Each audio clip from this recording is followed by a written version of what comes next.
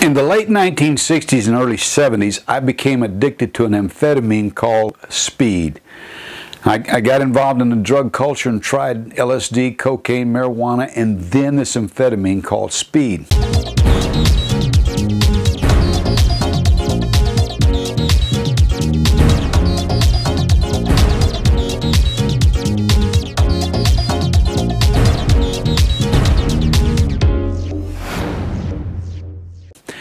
Now, this drug would make you higher than a Georgia pine tree.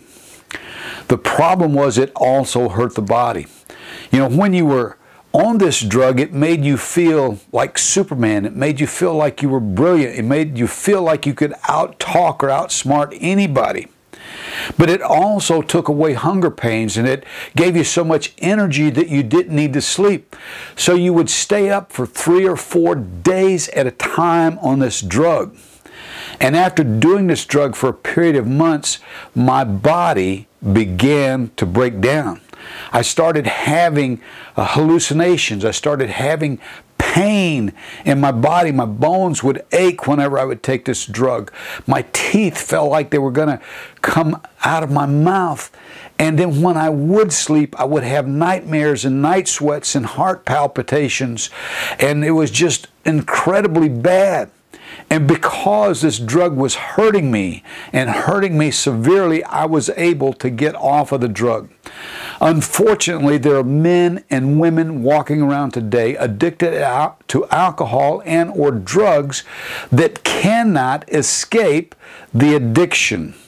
Well, our ministry, In Your Corner Ministries, has developed a program called Addiction Knockout. It's being used in jail ministries and prison ministries in numerous states, and we're hearing phenomenal results from people who are using this program.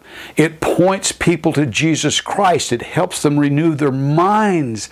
It helps them get away from this stuff and start a new life, to become a new creation. And the beautiful thing is, we now have this program not only in physical form, there's a workbook with daily exercises, there are DVDs, so you can start a group or take it individually in your home, but we've now put Addiction Knockout online and somebody can work right through this recovery course online and it's only $47. In addition to the program, we have a faith a, a Facebook support group of many people who have overcome addiction already and they're there to support you. We've also set up a YouTube page called Addiction Knockout that has many testimonies of men and women who have overcome alcohol and drugs. And if you want to just go and look at those encouraging videos, just go to YouTube and look up Addiction Knockout. But if you want to know more about this program, Addiction Knockout, just go to addictionknockout.com.